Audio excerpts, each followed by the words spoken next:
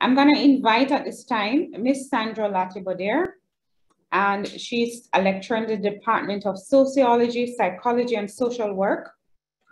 And she is also the program coordinator of Alzheimer's Jamaica. So just a bit of background on Ms. Latibeaudiere. She holds a Bachelor in Business Administration from the University of Technology in Jamaica, as well as a Master of Social Work degree from the University of the West Indies, Mona.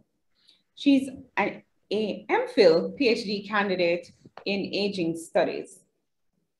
She is a lecturer and the head of section of the social work department. And she's also, she has research interests and practice, practice work in aging, dementia care, disability, and gender. She's a board member of Alzheimer's Jamaica, where she provides public awareness and programs coordination responsibilities, which is an unpaid position. And so during her volunteer work with Alzheimer's Jamaica, she established a memory club in St. Mary, which is a safe space for persons living with dementia and their caregivers to learn new skills and to share their coping experience. I'm sure there are many of us on this webinar this morning who are particularly interested in that kind of um, support group for persons with dementia. She has planned, organized, and delivered presentations, as well as written numerous articles that have been published in peer-reviewed journals, as well as newspapers. And her PhD thesis is focused on exploring how dementia caregivers and families perceive the caregiving experiences of taking care of an older adult with dementia. Ladies and gentlemen, Ms. Sandra Latibeaudiere.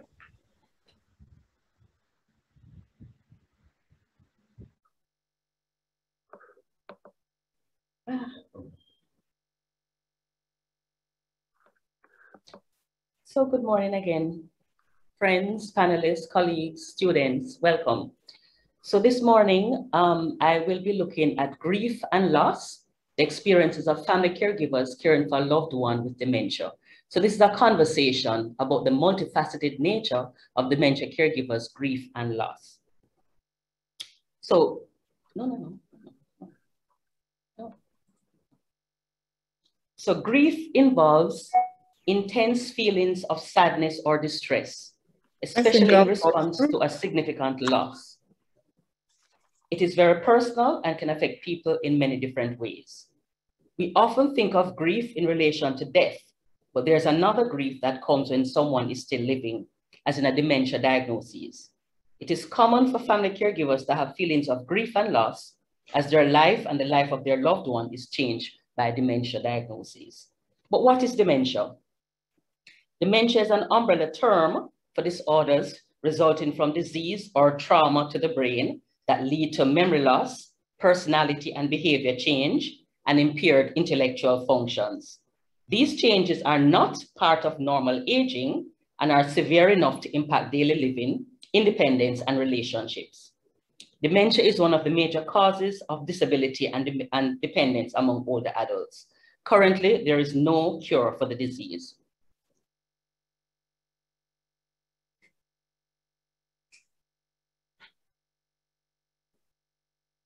So these are the four quadrants that I just mentioned that it leads to um, you know, it, it affects your, your cognition, so your memory, your judgment, um, visual spatial, your language. Some persons don't know, remember how to speak. It affects your neuropsychotics, it affects your mood. So some persons will have um, depression, psychosis, hallucination. It affects your ability to function, to take care of your activities of daily living and instrumental activities of daily living. It also affects your behavior. There are many types of dementia. Um, many persons know about Alzheimer's. There's also vascular, Lewy body, and frontotemporal. So quickly, I just want to share with you some facts about dementia based on a, on a study by um, Professor Eldemire-Shearer, a 2015 dementia study on Jamaica. Um, and the, the, study found that there's a 6% prevalence, 3.9% for those in the 60 to 69 age group, 10.3% for those 70 to 79, and 30.9% for those over 80 years. Females are more susceptible. The study found 14% female, 7.9% males um, with dementia. Alzheimer's account for 62% and vascular dementia 32.5%. Vascular dementia was, however, prevalent in 50% of the dementia cases, in Alzheimer's cases, sorry, mixed dementia. So for us in Jamaica, um, what this study is saying is that vascular dementia is more is is high. There's a high prevalence of vascular dementia in Jamaica. Um, the, the, in the, the, the research, um, there was an estimated 19,000 persons with dementia in 2010, with an increase to 31, um, 31,000 in 2030 and 55,000 in 2050. However, in 2015, we found that there were over 41,000 cases of dementia. And these are just the stats. So you, you, you see, you can see that the increase, um, dementia increases with age, though it's not a normal part of aging, um, age is a risk factor.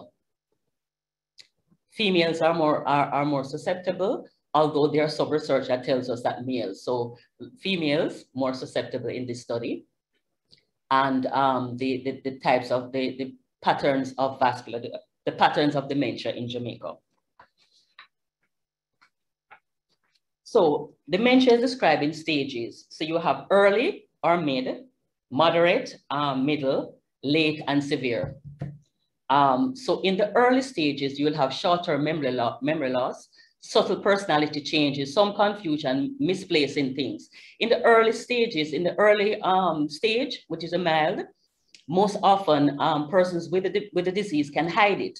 So oftentimes when persons are actually diagnosed is when they're in their mid to late, where the um, functionalities, their ability to function in certain and, and to do certain activities are more pronounced. So in the middle stages, you'll see need assistance with daily tasks, inability to remember most recent events, asking questions over and over.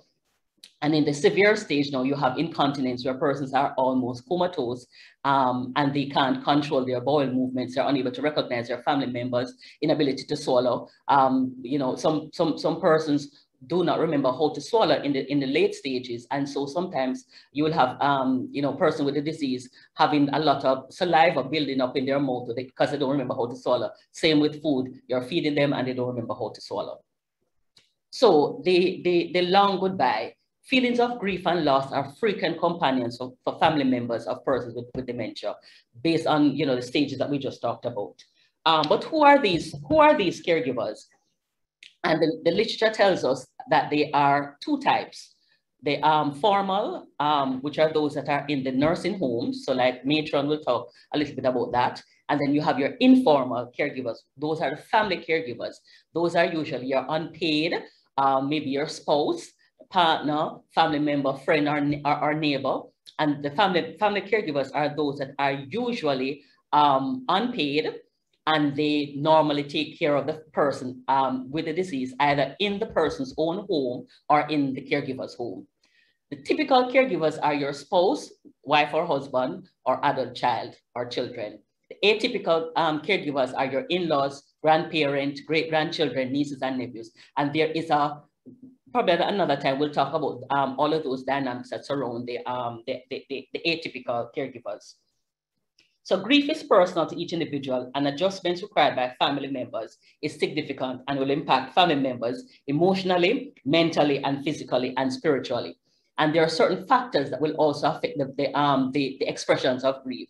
The individual relationship, that dyad, the caregiver and the care recipient relationship, spouse versus adult child, if there's an imperfect relationship, the atypical caregivers, the in-laws, niece, nephew, grandchildren, as opposed to uh, the, the, the, typical that I talked about. But I'll, I'll, I'll share a little bit uh, uh, um, about what I'm about this in a little while. The grief is also expressed by the amount of contact that the caregiver has with the care recipient. Does the care recipient live with, with the caregiver? Um, or does the caregiver live with the care recipient? The degree of dementia, the care recipient is a shadow of how you remembered him or her. So depending on the stage that the person is at, the expressions of grief will vary. So I, I, want to talk a little bit about the individual relationship, the caregiver, care recipient um, relationship. So the caregiver is an adult child or spouse. And in this situation, um, I have found wherever the caregiver is a spouse or adult child of the care recipient, I've observed in my work with families when the spouse or adult child starts to assume more and more responsibility, the care recipient experiences some mixed feelings of guilt and anger. This tends to occur in the early to middle stages. The care recipient will, of, will often express his guilt and anger in outbursts of rage. This has to do with the fact that the roles are being reversed and the care recipient, as a person with a dementia, simply cannot remember why this person is taking over their territory or responsibility. And I know many of you are, are identifying with this. He or she feels that their authority is being threatened, but it's important for families to know that the loss of cognition must not be confused with loss of emotion and positionality. You, they will always remember how you made them feel. So feelings don't leave, even though the memory is no longer there. So even as a care recipient cannot remember, his or her feelings are not turned off. And so the care recipient may feel that something is wrong with what is taking place and is usually expressing aggressive behaviors. Where the caregiver is an adult, where the caregiver is an adult child, um, so if the adult child is a, is, is, is, is a young child um, on the brink of their own career, um, you know, moving on to, to building families and so on, um, I have found that studies where caregivers are, are young, they tend to feel isolated. So I've been doing some work with Claire, and remember, name change to protect identity. Claire is 37. She's a professional, the youngest of three siblings. Claire, Claire is taking care of her mother with dementia. When I met her, she was emotionally fragile, and most of our clients are still fragile. They can't talk about the situation at all. Kerry recounts, my friend and I do not hang out anymore. We no longer have anything in common. They do not visit. They're living their lives. Migrated, some have migrated, some are married, have children, promoted at work while I have no life, no children, and many health issues. I love my mom and have and I have no problem taking care of her. I would never consider putting my, my mom in a nursing home, the dutiful daughter. So feelings of isolation faced by young caregivers may be due in part to the fact that their peers are involved in raising young families or are not yet facing the caregiving role and do not want to be confronted with the painful existence associated with caring for somebody with the disease where the, where the, where, where the relationship between the, the family caregiver and the care recipient is an imperfect one, marred by tension, as in the case of Precious. Precious is 48 years old, divorced with one adult child.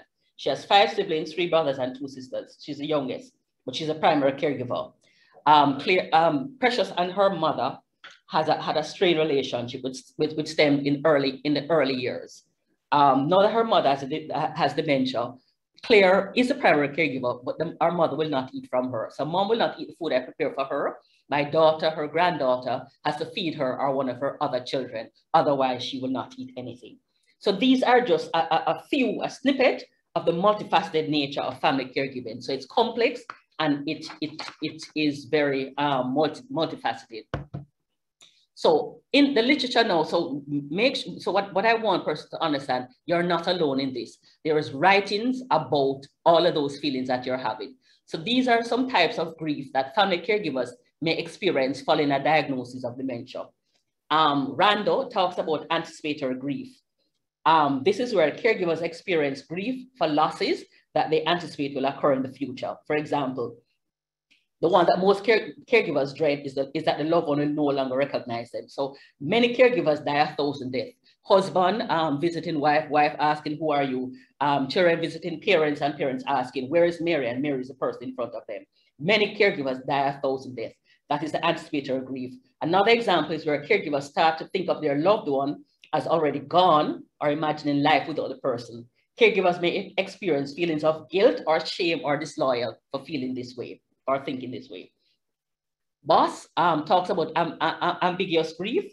Um, Boss, um, um, for, for, for Boss, he describes it in two forms. The first is leaving without saying goodbye, where the person is psychologically present, although he or she is physically absent. And this happens when you have family members who wander off um, and you can't find them. So again, they are, they, they, they are physically um, absent, but they're psychologically there. Um, the famous case is a 70-year-old Jean Watt who wandered off and she has been missing from May 23, 2020. I can just only imagine the grief that the families are going through. So that is the leaving without saying goodbye. Um, Boss also identifies um, where, the, where, where the, the, the, person with dementia is physically present, but psychologically absent, or as Boss calls it, the goodbye without leaving, where the care recipient is a shadow of, of who you remember the person to be. um, the, the Family Caregiver Alliance talks about renewed grief, which is, a, which is expressed as amb ambiguous grief and is experienced when someone with dementia has moments of lucidity. And I know many of you know this. When he or she makes sense for a short while. So family members tend to think that if they can do this once in a while, they ought to be able to do it all the time.